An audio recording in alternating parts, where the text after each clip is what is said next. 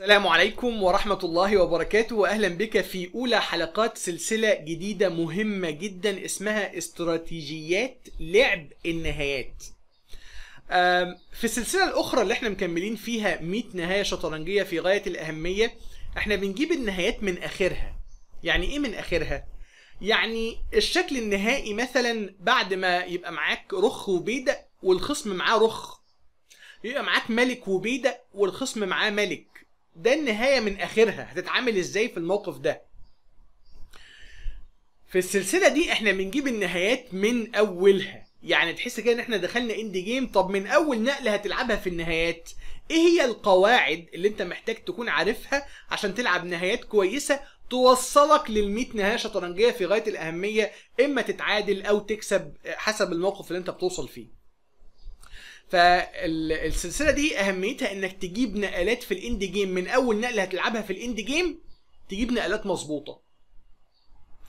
وبالتالي استراتيجيات لعب النهايات يعني المبادئ اللي هتمشي عليها عشان تجيب نقل صح من أولها كده. من قبل ما نوصل للشكل البسيط بتاع ملك وبيدق قصاد ملك ولا رخ وبيدق قصاد رخ ولا الكلام ده. رفعت بوست على جروبنا على الفيسبوك وبرضو آه على اليوتيوب. في الموقف ده وقلت لكم أنا ده مش بازل أو مش لغز ده بس محتاج تفكر فيه إزاي تمر بسلام لو بتلعب بالأبيض لأنك خسران بيدق آه الرخ بتاعت الأسود أكثر نشاطا. ممكن تنزل تدي كيش ممكن تنزل هنا تاخد البيادق. وبرضه هطلب من سيادتك توقف الفيديو وتفكر آه ممكن الأبيض يلعب إيه هنا وتكون خطة آه ناجحة تخليه يعدي بسلام وما يخسرش المباراة. جدير بالذكر إحنا هنشوف النهارده أربع مواقف بيتكلموا كلهم عن نشاط الملك وهو ده موضوعنا النهارده وموضوع الحلقة القادمة من هذه السلسلة. إزاي أنشط ملكي في النهايات وإزاي آه أوسطنه أخليه في منتصف الرقعة حتى بيسموها بالإنجلش centralization of the king. إزاي أوسطن الملك أو أخليه دايما في أنشط بقعة على الرقعة. يا سلام. ماشي. هذه المباراة على فكرة لعبت ما بين سيرجي كارياكن وتقييمه 2732 ووانغ يو 2689 في أولمبيات باكو في 2008 في الأولمبيكيات واخد بالك؟ وهنا سيرجي كارياكن عمل كارثة وأخد رخ في بيدق أنت جاي تعلمني النهاردة حاجة ما كانش يعرفها يعني سيرجي كارياكن يا سيدي اولا مفيش حد كبير على العلم يمكن آه يكون عارفها طبعا أكيد. ولكن ما حضرتوش يعني باله لم آه يحضره الفكرة وهو بيلعب. ممكن يكون كان مضغوط في الوقت فما جابش أحسن نقلة. ولكن الأفضل من نقله rook takes أنا هعتبر إنك وقفت الفيديو وفكرت وجيت. هذه النقلة. king f 2 ولنا هنا وقفة. ما هي الفكرة؟ إيه اللي يخليني ما أكلش البيدق ده؟ ونرجع من king f 2 كده ونتكلم بالراحة لأن هي دي الفرشة اللي هتخليك تفهم كل الثلاث مواقف اللي جايين كمان. في ثلاث مواقف غير هذا الموقف في هذا الفيديو. ملك الأسود أكثر نشاطا من ملك الأبيض. ليه؟ لأنه اخد مساحة أكبر في الرقعة. مشي في الرقعة من هنا لحد هنا. ملك الأبيض لسه مكبوس تحت. تاني حاجة الرخ دي أخطر على الملك الأبيض من هذه الرخ على الملك الأسود لأن في كش ممكن أرجعك وبعدين أخش بملكي وأهدد متات. آه بعد كده الرخ ممكن تيجي هنا تهدد إنها تاكل البيادق دي. ممكن الرخ تنزل على طول تهدد الرخ دي أكثر نشاطا من الرخ دي. أعمل إيه علشان أقلل من حدة نشاط هذه الرخ وإنها ما تقرمش كل البيادق أجيب الملك ده كده علشان أحمي ده لا مش هلحق. ولكن ممكن أحمي ده.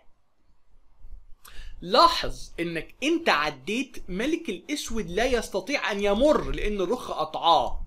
فرغم إن هو قطع شوط كبير في الرقعة بهذا الشكل لكنه مش قادر يرجع لمربع العمليات بتاع البيادق بينما ملكي يستطيع. وخليني أوريك الصح الأول وبعدين أوريك الغلط اللي حصل في المباراة. rook e 3 هات البيدق لو سمحت king e 3 جيت على الكش. آه ما أنا بفهم ما أنا فاهم فاهم كويس. هنا في طريقين والطريقين يتعادلوا. الطريق الأول إنك تلعب king d 2 ولما صاحبنا يروح يهدد البيدق أطلع king c 3 هذا البيدق رغم إن هو واقف قصاد 3 إلا إن الرخ دي هتبقى نشيطة جدا دلوقتي بعد ما تاكل وبعدين تروح تقف هنا وتاكل والبيادق ما بتدفعش عشان أنا حميت بيدق ال c 4 يا سلام على التكنيك الرائع. لاحظ إن الملك ما عداش. فبعد مثلا king b 1 هات يا عم البيدق لو الملك دخل عليا دلوقتي لا صباح الفل خلاص بقى. ملكي نشيط وحامل بيادق takes takes والشكل تعادلي خلاص. البيدق ده موقف الاثنين الرخ نشيطة الملك واقف ممتاز. انتهت القصة. تعادل. اصفار على ال engine. أيضا ممكن تلعب في هذا الشكل بدلا من king d 2 يعني بعد الكش اللي انت خدتها. بدل king d 2 ممكن تلعب king e 4 على فكرة. طب ولو لعب rook c 2 هات البيدق آه، بتلعب الأول نقلة في منتهى الأهمية. أنا نفسي توقف فيديو وتفكر فيها. على فكرة النقلة دي تبع موضوع آه النهارده. زي ما أنا هنشط ملكي فانا هخلي ملك الخصم أقل نشاطا. فالكش دي يا جمالها. كش الأول ابعد عن آه المش... يعني ابعد عن آه نشاطك في- وسط الرقعة بعدته. بعدين كلت البيدق أكل هو كمان البيدق وإيه يعني king d 5 أنا داخل دلوقتي أقرمش البيادق rook d 4 بكش وإيه يعني هات البيدق ده لو سمحت. أنت بتدفع صباح الفل. أنت بتدفع تاني أنا هركب البيدق بالرخ بتاعتي. بص ملكه فين؟ بص ملكك فين؟ بص فرق الجودة فرق ال quality رائع رائع رائع. خلاص ما عادش في حاجة. آه، أنا دلوقتي عايز آكل البيدق ده. لو أنت دفعته فأنت بتوقع البيدق ده. تعادل. طب بص بقى لو انت بتلعب غلط بتلعب زي سيرجي كرياكن وصيف بطل العالم في مرة من المرات ولكن انت بتلعب زيه دلوقتي واللعب ده غلط لانك كلت البيدق وهذا سمح بي أنا راجع لمنتصف الرقعة ب tempo. لو لعبت النقلة دي يا معلم فهذا سيسمح بإني آخد البيدق عادي جدا ولو انت أكلت هنا طب مين هيلحق ده؟ وده بص ملكك فين ولاحظ إن أنا بلعب كده أو بلعب كده أنت بتاكل وحامي وبتخش كده تاخد البيدق والبيدقين دول بيجروا متفوق أربعة على ال engine. okay. rook ول- ولذلك بعد ال king ما جه هنا دي ممنوعة فأنت بتلعب دي عشان تحمي بيدقك ولكن بعد rook e 3 هات لو سمحت e 6 rook takes لسه را... لسه فاكر بعد إيه؟ لسه فاكر قلبي يديلك أمان. المهم ماشي. rook takes وصاحبنا اداله كش وبعد ما مشي أكل البيدق ودخلنا على فكرة في شكل من أشكال رخ وبيدق قصاد رخ ولكن علشان اللي كان بيلعب بالأسود مستر وانج يو آه يعني مذاكر كويس جدا. استراتيجيات النهايات وال100 نهاية شطرنجية في غاية الأهمية. عارف إن الشكل ده هيبقى مكسب بعد ما قطع الملك منتاش معدي والبيدق ده مين يلحقه يا معلم؟ rook b 1 c 4 تعالى. وإيه يعني؟ takes takes ده طلع كمان العفريت مذاكر نهايات الملوك. ملك وبيدق قصاد ملك. عارف إن الشكل ده مكسب. بعد ال king e 1 لو البيدق في ستة كل ما يهمك في هذا الشكل أن تفوز بالمقابلة. ولذلك king d 3 blunder عشان الأبيض هياخد منك المقابلة ويتعادل. كش أجي كده كده خلاص اتخنق. ولذلك صاحبنا مذاكر إن only move عشان تكسب هنا هي مش only move في نقلتين بيكسبوا بس only move آه أو النقلة ال straightforward الواضحة إنك تاخد المقابلة. ولما يخش عليك تاخد المقابلة تاني. ولما يقف قصاد البيدق تعالى لي. يضطر يطلع وتخش وترقي. يا سلام. موقف رائع. king f 2 بتقول أنا بفهم. أنا رايح مش هحمي ده لكني هستطيع إني أحمي ده. أو حتى لو سبت البدائين ملكي هيخترق ويقرمش البيادق دي. أتمنى تكون استفدت حاجة من هذا الموقف ولكن لسه في ثلاث مواقف معانا عشان يرسخوا الفكرة. بس كده لا الحلقة الجاية هنكمل مواقف عن تنشيط الملك برضه. وبعد كده نبقى ننتقل إلى موضوع آخر من مواضيع استراتيجيات لعب النهايات. الموقف اللي بعده عايز تجيب رقعة وتحطه على رقعة ماشي. عايز توقف وتفكر ماشي. لكن قدر الإمكان ما تح... مش عايزك تبقى متلقن. يعني تقعد أه قول لي. الله. يا سلام الشاي ده حلو. أنت كنت بتقول إيه؟ مش عايز كده. أنا عايزك تكون يعني جزء يعني تبقى نشيط وأنت بتتفرج تبقى انتر اكتف متفاعل معايا عشان تستفيد وتحقق أقصى استفادة. ماشي. هذه المباراة ما بين يوري كوتكوف أو كوتوكوف وأسطورة التدريب التاريخية مارك ديفورسكي مارك ديفورسكي كان بيلعب بالقطع السوداء هنا وبيقول في تحليله لهذا الموقف إنه فكر في النقلة النشيطة rook e 3 بكش ولكن حب يعمل technical win مكسب تقني. هو معاه بيدق زيادة خد بالك. وهذا المكسب يبدأ بتنشيط ملكه فيلعب إيه عشان ينشط الملك؟ روك بي 5 عديني. وصلني وقفني قصاد بدءك ال- السالك ده عشان ما يعمليش مشاكل. وفي المباراة مرضاش الخصم إنه يكسر الرخاخ ولعب الكش دي. ولكن تعالوا نشوف ماذا يحدث لو حصل تكسير ارخاخ في هذا الشكل. knight c 3 بكش والملك أصبح أكثر نشاطا. إيه ده إيه ده إيه ده؟ وتسيب البيدق آه واسيب البيدق وأكمل. ما أنا هدعم البيدق ده.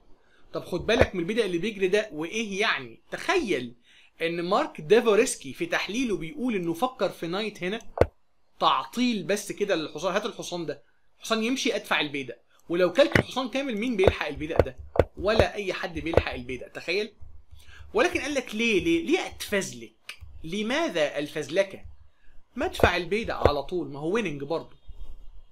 ده في تحليلاته اللي بعد الماتش ده ما اتلعبش اللي اتلعب في المباراة ان اداله كيتش ما رضيش يكسر الرخاخ. ليه أعمل كده؟ ده أنا آكل وأنا عايزك توقف الفيديو وتفكر إزاي تلحق البدائين دول بحصانك. أنا هعتبر إن أنت رجعت وهتستمتع جدا بالنقلة. knight e 5 علامة تعجب. يا نهار أزرق. ده هيجيب وزير في الوقت المناسب. كش. ولاحظ إن الكش دي هتبعده خالص بعيد عن الوسط. وتدخل ملكي. بعد ما الملك يمشي knight d 6 ممنوع ترقي ووقفنا البيدق التاني. إيه الجمال ده؟ والله والله كلام يستحق like واشتراك وحاجات فظيعة كده. خلاص ده مكسب. هتخش كده دلوقتي تقرقش ده وبعدين تقرقش التاني وبعدين تخش بالبيدق ت... بال... بالحصان بتاعك تاكل البيدق دي وترقي واحد من الثلاثه انتهت القصة. طيب تعالوا نشوف بقى كيف آه، جرت المباراة. المباراة مشيت إنه اداله الكش قال له ماشي. بص ما دخلش كده. وسمح له ينزل هنا ويقعد بقى يلف ويقرقش في... لا لا لا. king b 7 ممنوع تدخل تماما برخك king f 2 rook b 2 ربطتك king e 3 اداله كش king f 2 وبدأ يدفع البيدق بتاعه في الاتش 4 اي 6 طب خلاص أنا هسمح لك تنزل بس أنا رايح أخد البيدق ده. الرخ اخترقت ولكن اتش 3 رو- ده ده اللي اتلعب يا جدعان. ده اللي اتلعب في المباراة. knight e 7 حميت لاحظ انك لو ربطتني هدخل كده حميت الحصان بتاعي وعايز البيدق. وحميت كمان البيدق ده ومفيش أي مشاكل. rook h 8 طب نلحق ده؟ king d 6 هات البيدق ده يا معلم. knight g 1 طب انت هات البيدق ده. انت نسيت ان أنا عندي بيدق كمان سالك؟ تعالى لي. لاحظ انك لو كلت البيدق ده بهذا الشكل مين هيلحق صاحبنا؟ ده محدش هيلحقه. ولذلك ال king دخل بعد الكش ال king دخل ثم النقلة الألمعية التي تستحق علامة تعجب. rook g 3 يا سلام خد يا عم علامة تعجب أهي. فكرة rook g 3 ببساطة هات الحصان. ولو أكلت أنا هديك كش عظمة من هنا. وبعد ما تتحرك هلعب knight c 6 عايز آكل هنا وأديك الشمات أو تمشي أجيب وزير. تفوق تسعة للأسود في هذا الشكل. الموقف من أوله يبدأ بفهم بسيط أنا عايز ملكي يخش اللعب عشان دي أولوية في النهايات فلعبت rook b 5 بس هي دي الفكرة.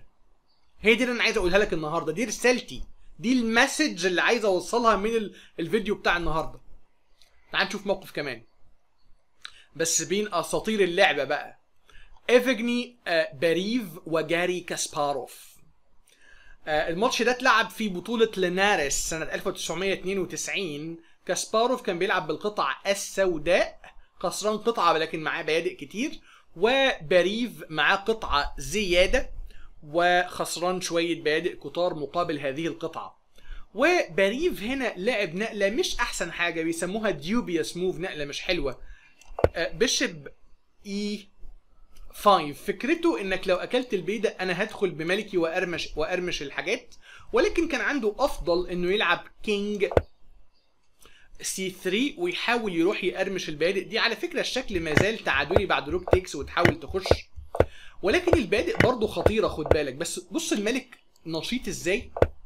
أنت دلوقتي ممكن تطلب البيدق لو لو قال لك كش بتمشي ودفع البيدق ممكن تاخد البيدق ده الشكل تعادلي أو أفضل شوية للأبيض سبعة من عشرة للأبيض لكن محتاج تكمل بقوة وبشراسه عشان تعرف تكسب وبدقة طبعا.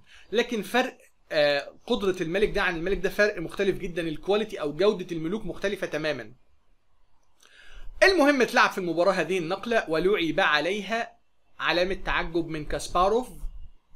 king f 7 مش أكلة الرخ. آه، رخ في بيدق لأ. عشان دي هتسمح إن ملكك أنت يتنشط. لا ده الأولوية عندي إن أنا أنشط ملكي. افهم بقى جاري كاسباروف بيعمل إيه. rook e 2 بص بص الافتراء بعد ما خد البيدق وال king طالع يطلب البيدق وقف في وش ال- الرخ عادي جدا مفيش ولا كشفة. كش يمشي. كش وهنا قرروا يتعادلوا بهذا الشكل. كش يعني كش. أرجع كش أمشي كش أرجع كش أمشي. قرروا يتعادلوا في هذا الشكل. وبالتالي آه نشاط الملك مهم جدا. أهم من إن انتش بيادق والشكل بتاعي يبقى وحش. زي ما وريتك في في المثال بتاع king c 3 أنا بنتش بيدق وقاعد بجري بالبيادق بتاعتي والملك بتاعي نايم. كمان شوية على فكرة لو أنت ما لعبتش كويس جدا من ناحية ال- الأسود هتخسر. البيدق دي ممكن تقع البيدق ده ممكن يجري الملك بتاعك متعلق ممكن على متات. أبيض أحسن مننا بكتير. آه إيفاجني باريف استطاع أن يتعادل في هذا الشكل ولكن لعب مباراة في 2016 في اولمبيات باكو في الأولمبيكيات مع آه بافل إليانوف ولعب مباراة حلوة جدا. برضو مب... مبدأها نشاط الملك. هو بيلعب بالأسود هنا وفكر كده يا ترى تلعب أحسن حاجة هنا إيه؟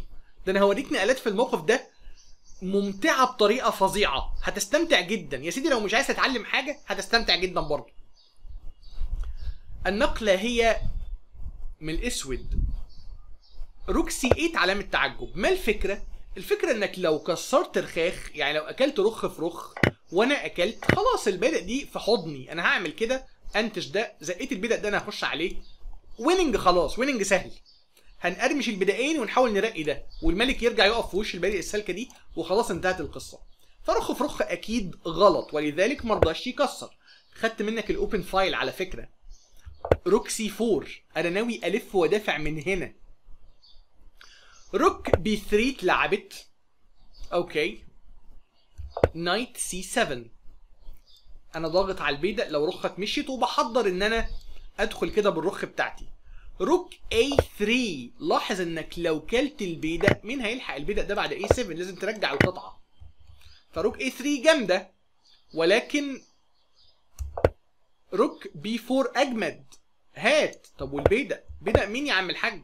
الحصان رجع قفل الطريق وحمل بيدق حاجة عظمة. مين بقى هيلحق ده؟ محدش هيلحقه. يا عم نوفل فين نشاط الملك في الموضوع؟ ما تصبر عليا. النقل جاي اهو. دي 5 كش. امشي بعيد. عشان البيدق ده ما يبقاش محمي لو أنا عايز اضغط عليه في لحظة من اللحظات.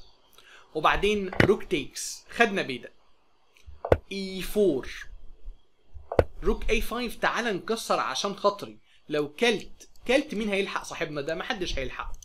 والبيادق دي ممسوكة لأن ال- ال- الملك واقف في وشها. بص بقى rook f 3 وقف الفيديو وفكر أفضل نقلة للأسود في هذا الشكل. أنا أعتبر إن أنت رجعت. النقلة التي تستحق علامة تعجب أول نقلة على ال engine. king e 8 أنت رايح تحمي يعني البيدق طب ما تلعب king e 7 واسمح لك تديني كش كده. واكل. وتنزل سبعة حامي بيدقك وبتقرمش البيادق؟ لا طبعا. ده نلعب king e 8 هنا. king e 8 وتلعب في المباراة rook c 3 محاولا إنه ينزل بكش. فقال له king d 8 يا عيني. طب ولو رجع تاني؟ ساعتها باكل وحامي. ما هذه العظمة؟ ما هذه الشياكة والأناقة؟ واحد يقول لي طب ليه بدل king e 8 ما لعبش f 6 يا سيدي؟ يعني ما في إيه؟ e 5 على الهوا جامدة. لو أكلت برضه هتنشط ملك الرخ الملك يمشي ناكل هنا وناكل هنا والبيدق ده ما زال غصة محمي والحصان واقف كده دمه تقيل.